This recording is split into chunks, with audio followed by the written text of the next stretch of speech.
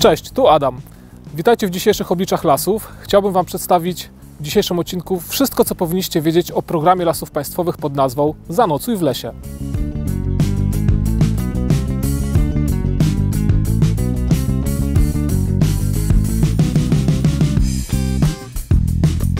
Program ten polega na tym, że we wszystkich nadleśnictwach kraju, poza nadleśnictwami wchodzącymi w skład Puszczy Białowieskiej oraz nadleśnictwa Drawsko, gdzie jest poligon wojskowy, są wyznaczone duże obszary leśne, na których możemy dziko biwakować.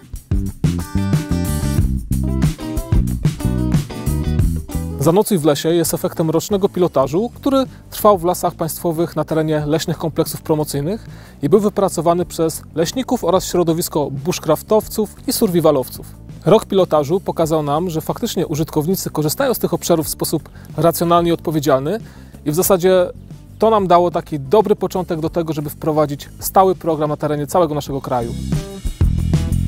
Pamiętajcie, że te obszary są wyznaczone nie tylko dla hardkorów czy osób uprawiających bushcraft czy survival.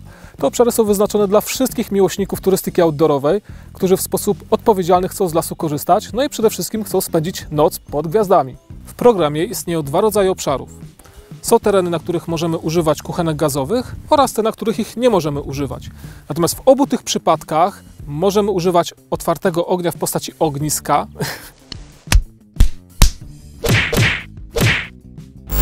Natomiast w obu przypadkach możemy rozpalić ognisko, ale tylko w miejscach punktowo wyznaczonych przez nadleśniczego.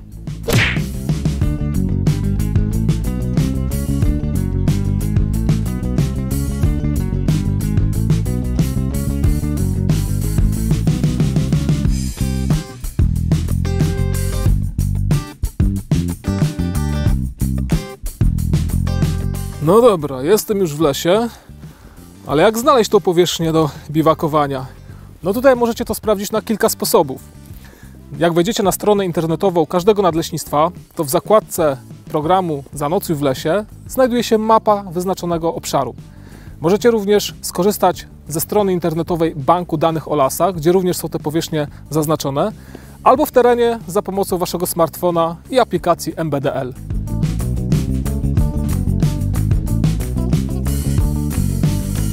Na stronie internetowej Banku Danych o Lasach i tak samo w aplikacji MBDL, aby zobaczyć obszary programu Zanocuj w lesie, należy z menu wybrać mapę zagospodarowania turystycznego. Wówczas ukażą nam się wszystkie te obszary zaznaczone osobnym kolorem. No i tutaj warto zwrócić uwagę na to, że obszary programu Zanocuj w lesie, na których możemy używać kuchenek gazowych, są oznaczone innym kolorem. Jeżeli klikniemy sobie ikonkę informacyjną, która znajduje się również w aplikacji. Klikając następnie na dany obszar, pokazuje nam się szereg informacji dotyczących tego obszaru. Również w danych tematycznych mamy dokładnie opisane, czy jest to obszar, na których możemy używać kuchenki gazowej, czy jednak nie. Jeżeli już korzystacie z banku danych o lasach, warto zapoznać się również z mapą zagrożenia pożarowego lasu. Jeżeli otworzycie tą mapkę i zobaczycie, że jest dużo koloru czerwonego w miejscach, gdzie zamierzacie przebywać w lesie, wówczas naprawdę dla własnego bezpieczeństwa zachowajcie wszelkie środki ostrożności, ponieważ doskonale wiecie, że o pożar w lesie nie jest trudno. W tym samym banku danych o lasach jest również mapa zakazu wstępu do lasu. Przed wyjściem koniecznie sprawdźcie, czy przypadkiem nadleśniczy nie wydał okresowego zakazu wstępu do lasu, chociażby przez wysokie zagrożenie pożarowe. Wówczas koniecznie zmieńcie albo termin waszej wędrówki i pobytu w lesie, albo miejsce, bo może zdarzyć się tak, że w sąsiednim nadleśnictwie już takiego zagrożenia nie ma.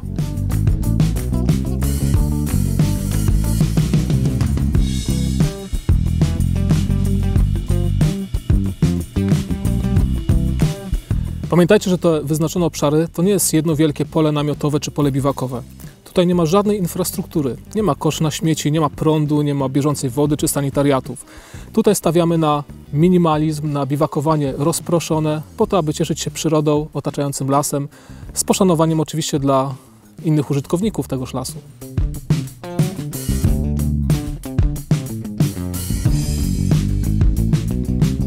Słuchajcie, bardzo fajnym rozwiązaniem też na długie wędrówki po lasach, szczególnie w górach, są chociażby kije trekkingowe. Ja akurat bardzo doceniam po przejściu kilkudziesięciu kilometrów, e, gdzie bardzo fajnie odciąża kręgosłup, stabilizuje postawę, odciąża kolana. Także ja Wam polecam, tak na marginesie.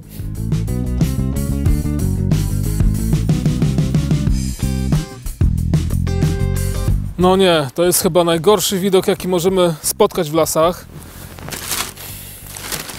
Nieważne jaki rodzaj turystyki uprawiamy, rowerowa, piesza, czy idziemy do lasu, żeby przenocować, czy idziemy skorzystać z programu Zanocuj w lesie, czy jakikolwiek inny mamy powód, żeby nasze lasy odwiedzać, to mimo wszystko musimy no, zabierać śmieci ze sobą, no przecież są lżejsze. No, przecież to jest takie proste. To tak jakbyście poszli do hotelu i macie wszystko po, po poprzednikach. Ręczniki brudne, pościel brudna, no przecież to się nie godzi, prawda? Idziemy.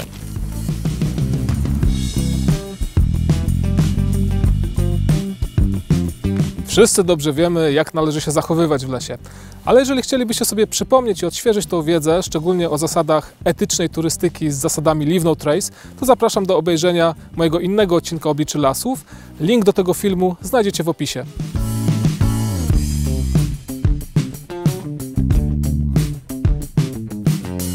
Na stronie internetowej każdego nadleśnictwa znajdziecie nie tylko informacje o tym, jak duży i gdzie znajduje się obszar do legalnego biwakowania oraz gdzie są ewentualnie miejsca do rozpalania ognia. Tam znajduje się również regulamin, ale nie bójcie się, to nie jest taki regulamin, jaki sobie wyobrażacie.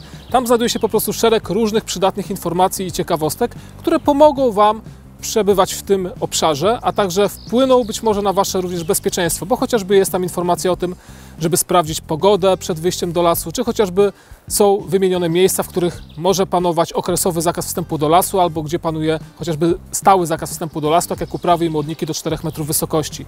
Tam znajdują się również informacje, ile osób maksymalnie oraz jak długo możecie przebywać na takim obszarze, bo jeżeli chcecie przebywać więcej niż dwie noce oraz więcej niż 9 osób, no to wówczas należy napisać mailowe zgłoszenie do nadleśnictwa i otrzymać odpowiedź zwrotną. E, także w tym regulaminie znajdziecie szereg naprawdę pomocnych informacji o tym, jak komfortowo i przyjemnie spożytkować ten czas w lesie.